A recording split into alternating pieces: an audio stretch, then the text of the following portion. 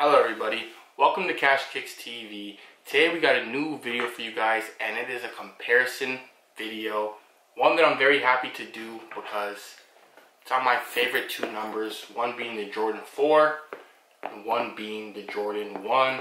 We're going to do a deep dive into these shoes, talk about the differences between them, and I'm going to let you guys know not only which one I like better, but also which one I feel you guys should go and buy first. So let's get into it right now. Alright you guys, so the Jordan 4 Red Thunder versus the Jordan 1 Patent Bred. If you guys notice, I had to switch to the left pair because on the right pair it has that Jordan chain and that clicking noise was just driving me nuts. But the first subject we're going to talk about on these shoes is going to be the colorway because I think it's going to be the quickest subject between what we want to talk about on this shoe. And that is because these are both pretty much red and black shoes, which is a lot of people's favorite because it's the easiest to rock when you have a, a black shoe mixed with a little bit of red. It's pretty much really easy to match with. So that's why a lot of people prefer these type of colorways, including myself. This was a very good job they did on the Red Thunder, to be honest. I really do love this shoe. I love the way they meshed everything like they always do on a 4. There's a reason why this is my favorite number, favorite silhouette. It's just because the way it's just put together is just, it's unmatched. And for the Jordan 1, we got a Bred colorway. Probably the best colorway for a Jordan 1. So, you know we can't go wrong there. When it comes to colorway, I'm gonna I'm gonna give it a tie. I know this is a Bred, so much people probably would prefer this, but colorway wise, they're gonna be one of the top in its each in its own class. So we're gonna tie it on the colorway. Let's go into what we're hearing a lot more problems with, mainly this shoe, which is the quality, right? So we're seeing a lot of complaints on the Jordan 4 Red Thunder on the quality control. I'm gonna let you guys know right now, a lot of the pictures I've seen, I'm not dealing with that at all for my pair. I looked and there's absolutely, you guys can see, no flaws on my pair that I got. Doesn't mean yours might not be, but I'm just saying mine, I did not find any flaws with this one whatsoever at all.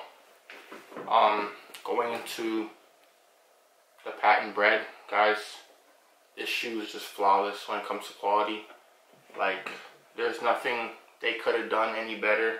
I really hope it comes out in the royal colorway because you guys know I'm not really a royal guy, uh, colorway wise but I will be copying those right away if they do because it'll pretty much be the same thing as this in blue and black and they did a good job on the shoe man. Quality I give this like a 9.5 out of 10 and even though I didn't find any flaws on mine and for this shoe the quality is just not better than the Jordan 1 patent Bred that's for sure.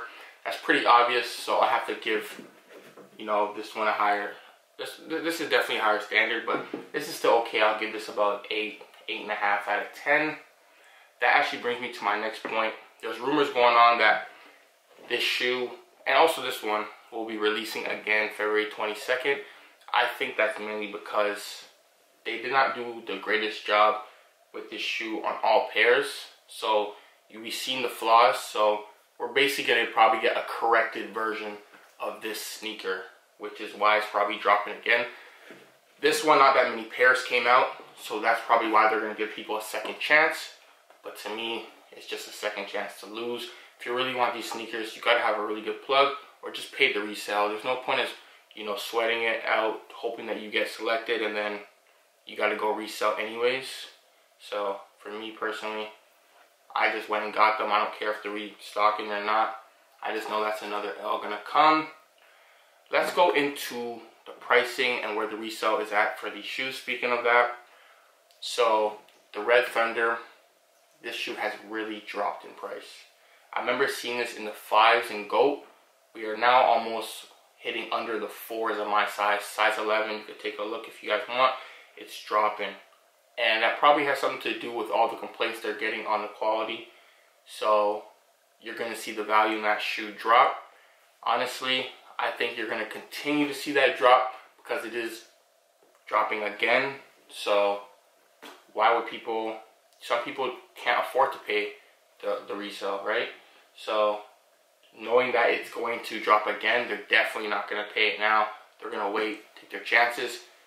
Maybe after it drops again, you might see a slight increase, but I don't think we see this shoe in the fives again. I think people are kind of over them, and you're probably going to see them stay around that 410 to 430 range for the next little while. As far as these, these also surprisingly dropped in price. Maybe it's because they're supposed to drop again. I'm not too sure why, to be honest. It's cheaper than what I paid when I first got them. Maybe I should have waited. I knew I should have waited. I knew it would drop a bit, but not like this. It did slightly go up a little bit the last few days. I do keep my eye on these prices. I don't know why, because it actually just brings pain. It, I like to see that it went up and I was smart to get it right away, but not the case for these. If I waited, I would have saved a good 50 to $70. But, you know, still happy I was able to get this in my collection, of course. But as of right now, this is doing a, a little bit better when it comes to resale pricing. That is GOAT though, so you gotta remember with duty fees, these shoes are a little bit more expensive than that.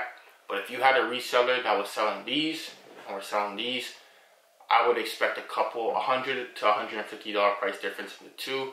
They're definitely gonna sell these for more. So I'm gonna have to give this one the edge on what's valuable, what's more valuable right now. Those are pretty much the main things that I wanted to compare in for these two shoes. Um, like I told you guys, I'm gonna tell you guys what I think you should buy now. When it comes to what you guys should buy now, I'm definitely gonna go with the Jordan 1 patent Bred. just because I know these have a way higher chance of going up and when they start going up, they're going to continue to go up. Guys, this is a patent Bred, not something we get every day. So when these are, you know, dropped, the release date of these are, are we're a couple months ahead of that. You're going to see the value of these go up more and more and more. These, honestly, a good pickup, but kind of, a, I'm not sure if they were considered a GR, but I'm kind of considering them a GR, a general release, especially with they dropping again. I think people are going to get over these pretty fast and you're going to see the price stick to that same price for a while. I don't see any reason why this should be, you know, five, six hundred dollars. Do still love it. It's a good colorway, but if you're able to get it for retail, it's a big W for you. If you have to pay resale for me, it's gonna be one of those shoes where you're kind of like, was it worth that price tag that I paid? So definitely gonna go with if you have to choose one now, definitely go with the Jordan 1 patent Bred. And as far as which one I think is better, it's kind of obvious which one I prefer.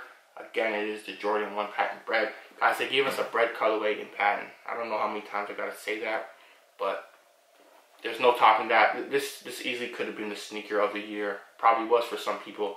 A lot of people are waiting for this for a very long time. I am one of them. I was able to secure them. But I'm definitely taking these out of 10.